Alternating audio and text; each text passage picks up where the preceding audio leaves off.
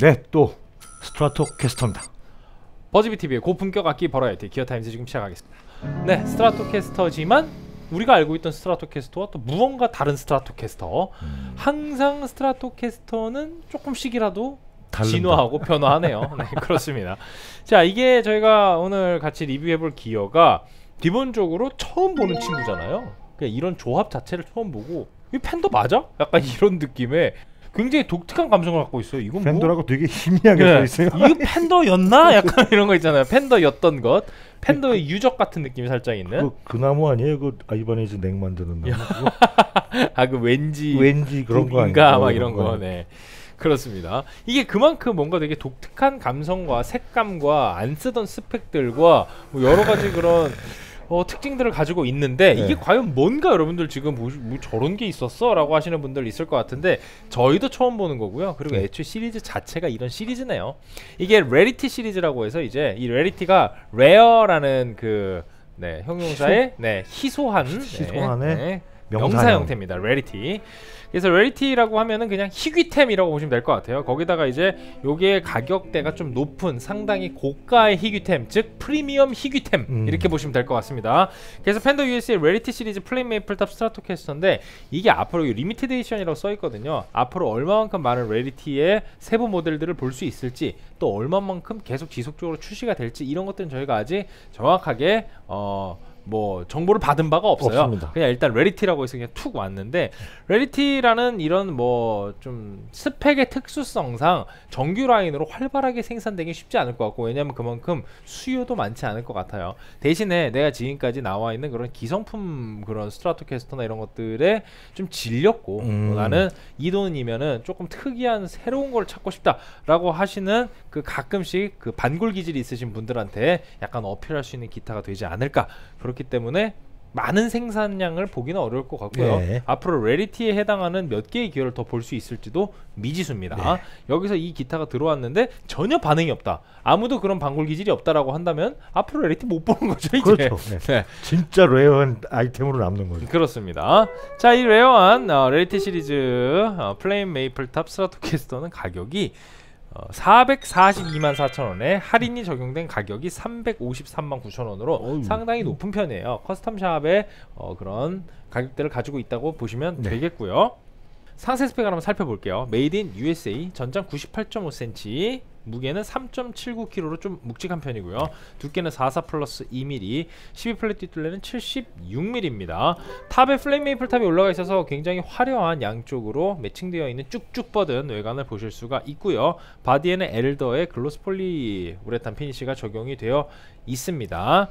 그리고 네, 어 neck은 로즈우드 모던 CCM 넥이 선생님 말씀하신 것처럼 약간 wenge 느낌의 굉장히 까만, 예, 네. wenge wenge 느낌, wenge wenge 느낌이 나는 아주 시커먼 느낌의 rosewood를 보실 수가 있습니다. 그리고 head machine은 standard 어, die-cast sealed staggered head machine 올라가 있고요. 앞쪽으로 돌아와서 bone nut인데 이쪽에 또 이 헤드의 이 색상과 질감이 정말 독특하게 되어 있어요. matching도 아닌 것이 안 matching도 음. 아닌 것이 야 여기 보강목을 skunk line을 뭘로 넣었을까요?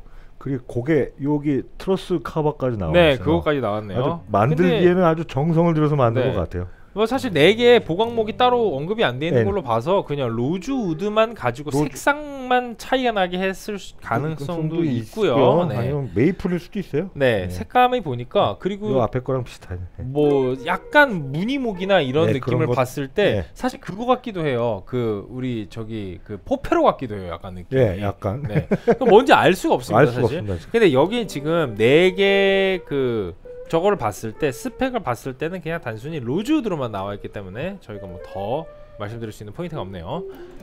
어 그리고 지판을 또 붙였네요. 지판은 flame maple이 또 올라가 있어요. 네, bird's eye maple성 flame maple이에요. 그렇습니다. 네. 약간 이게 조금 더 격렬하게 울면 bird's eye가 될 것 같은 네. 뭔가 줄을 딱 쳤을 때 줄이 울리는 걸 네, 표현하는 것 같은 네, 이제 떨리는 등고선 보실 수가 있고요. 요게 지금 flame maple 지판에 지판 곡률이 9.5에서 14인치로 어, 또 어, 편편한- 혼합 곡률 예. 들어가 있어요. 혼합 약간 곡률. 동그랗다 편편해지는 241mm 반지름에서 355mm 반지름으로 가는 와. 네. 아, compound radius고요. 스케일 길이는 648mm, fret은 22 narrow tall fret. 네, pickup은 bridge에 custom double tap 어, humbucker가 들어가 있고요. 그리고 middle과 neck에는 어, vintage pure vintage 65 gray bottom single coil Strat pickup 2개가 장착이 되어 있습니다. 자, 여기서 싱싱험으로 좀 다양하게 톤 조합을 하실 수가 있고요. 네, 이렇게 스펙 쭉 다 살펴봤습니다. 그러네. 네, 바로 이거 coil coil tap 버튼이나 봐요. 네. push push. 맞네요. 네. 네, 그렇습니다. Fender 앰프고요. 어우 소리. 어 좋은데요? 네.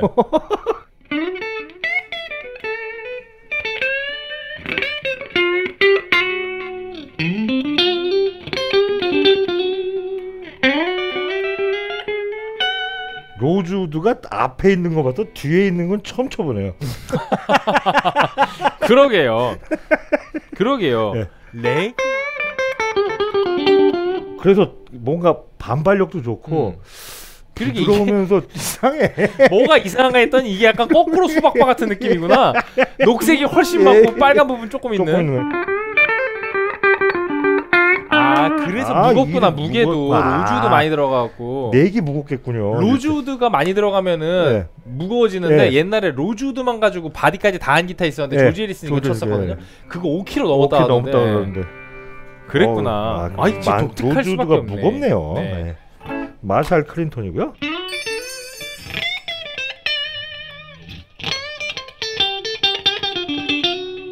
Marshall clean tone이 좀 작네요. 좀 키웠습니다.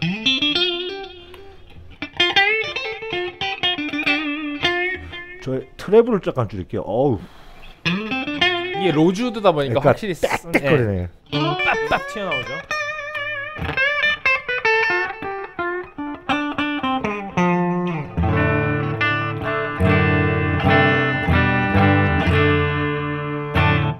팬더의 레드락.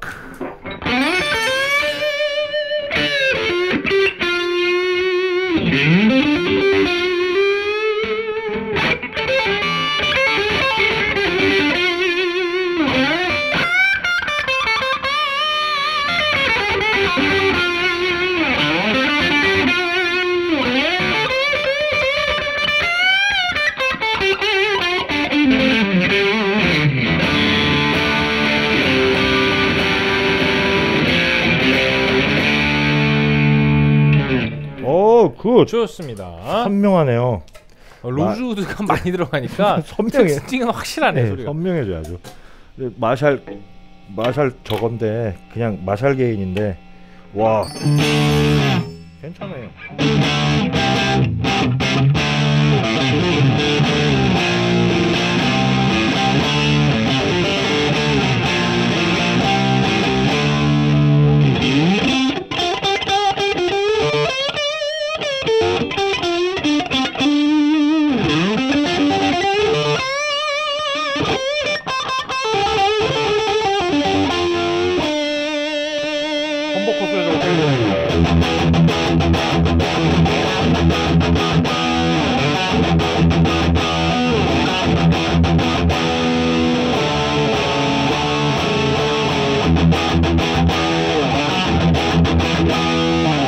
밸런스 좋고 네. humbucker 밸런스가 옛날에 Shawbucker만큼 좋네요. 네, 뭐 확실히 소리가 좀 진하고 팍팍 앞으로 밀고 나오는 네, 그 딱딱거려요. 그, 네, 그 rosewood의 감성이 정말 강렬하게 들어가 있는 음. 그런 기타입니다. Rarity.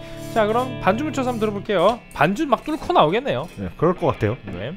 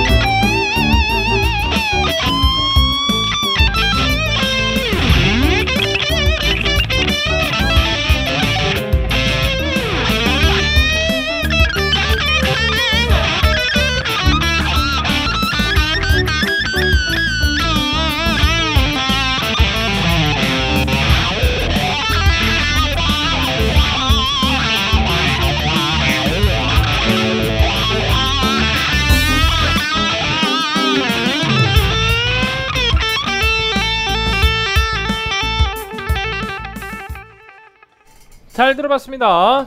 사운드가 정말 독특합니다. 되게 조, 좋은데 네. 우리가 알고 있던 그런 좋음의 영역이 아니고 진짜 딱 그런 느낌이에요. 야 이거 나 아, 수박바에 밑둥 맛있는데 이거 진짜 많이 먹고 싶은데. 어 예. 그래 너 다 먹어라. 뭐 이거 좀 너무 주는, 네. 너무 그렇습니다. 그게 좀 과하게 느껴질 수도 있고요. 아니면 음. 그게 굉장히 아 그래 이 정도는 줘야지. 약간 이런 느낌이 될 수도 있고요. 그러네요. 개인 취향을 좀 많이 탈 것 같네요. 말 그대로 이름뿐만이 아니고 취향적으로도 아주 rare한 취향을 네, care해주고 있는 Rarity의 Flame Maple Top Stratocaster 같이 사운드 들어봤습니다. 네, 시청자 한주평 하나 드리겠습니다. 2477화에 Schecter의 일렉기타 Hellraiser C1이었는데요. 아하. 사실 우리가 워낙에 Hellraiser의 다른 이제 가성비 모델들을 많이 하다 보니까 오히려 헬레이저 어, Schecter가 어떻게 보면 제일 유명했던 게 Hellraiser인데 그게 오히려 잊혀졌어요 약간 예, 느낌이. 잘 안 찾아. 그렇습니다. 일랑님이 그래서 이렇게 달아주셨네요. 상승세인 Schecter의 이미지 때문인지 Hellraiser가 이렇게 소리가 좋았나 싶네요. 네 생각했던 것보다 사운드도 풍부하고 중저음도 잘 나와주는 게 괜히 명기라고 한 게 아니었네요. 한 줄평 Schecter는 내가 키웠어 그렇죠 사실 Hellraiser가 그렇죠, 네, 그렇죠. 어떻게 보면 image making 해놓고 요새 네. 다른 이제 모델들이 병호 거의 상한가를 네, 치고 병호성덕 병호성도 그네 아, 그렇습니다. 병호성덕이 상한가를 치고 있어서 헬레이저가 오히려 뒤로 밀리는 기현상이 발생을 했는데 뭐 자기가 키웠다고 해서 과언이 맞아요. 듯하죠. 네 선물 보내드리겠습니다. 일랑님 축하드립니다. 네 선생님부터 바로 한 줄 평 드릴게요. 네, 로즈우드는 앞에다 붙이나 뒤에나 붙이나 고급스럽습니다. 네 알겠습니다. 정말 많이 붙였어요. 네. 저는 어 저 아까 드렸던 그 말씀 그- 그냥 그대로- 그 드릴게요. 거꾸로 수박바 이렇게 거꾸로 드리겠습니다. 네. 얘는 참 아, 고급스러워요. 네. 근데 이게 이게 어쨌든 rare잖아요. Rarity잖아요. 네. 거꾸로 수박바가 사실은 어, 왜 히트를 칠 거라고 생각을 했냐면 사람들이 이 녹색 부분이 너무 조금밖에 없으니까 그러니까. 아쉬워가지고 이것 좀 많이 늘려주면 안 되냐라고 했는데 네. 사람들이 마음이 간사한 게 이게 늘어나니까 또 그게 그렇게 맛있게 안 거예요. 그렇죠, 그렇죠, 그렇죠. 적어야 맛있는 이 Rarity의 특성상 과연 이게 득이 될지 아니면 네. 실이 될지 요거는 잘- 지켜봐야 할것 네. 같습니다. 모르겠습니다. 네. 거꾸로 수박바. 네. 몇 대? 몇? 8.5, 8.5. 그렇습니다. 8.5, 8.5가 나왔어요. 그렇습니다. 이게 뭐 quality로 봤을 때는 진짜 8.5, 9.0에 육박하는 뭐. 점수인데 어쨌든 이 Rarity라는 게 범용성보다는 조금 더 특수성에 포커스를 그렇죠. 맞추고 있는 모델이기 때문에 아무래도 Rarity 시리즈 중에 9점을 넘어가는 기어가 나오긴 쉽지 않을 것 같아요. 그, 어, 예, 뭔가 약간 좀 어떤 자기만의 음. 되게 고유의 색채감이 너무 강한 느낌이 네. 좀 있어요. 그렇습니다. 음. 어쨌든 좀 예전에 있었던 기성품들이 지겹다라고 하시는 분들은 Rarity로 한번 눈을 돌려보는 것도 아주 좋은 어, 지금까지의 세계관 확장에 도움이 될 것 같습니다. 네, 다음번에 또 Rarity 다른 모델을 구경해 볼 수 있기를 네, 기대하면서 다음 건 뭘까? 뭐 Jaguar인데 뒤에 rosewood고 네, 뭐 앞에 그쵸. 막 구멍 뚫려 있고 그럴 거 아니야? 막, 막 Jaguar인데 Telecaster인데 여기 막 monkey grip 달려 있어요. 예, 막 그런 걸 수도 있고. 네 그렇습니다. 이게 과연 이번 시간만 끝날지 또 보게 될지 네. 네, 또 기대를 해보도록 하겠습니다. 네 유튜브 구독과 좋아요는 저에게 큰 힘이 됩니다. Gear Times good. 수고하셨습니다.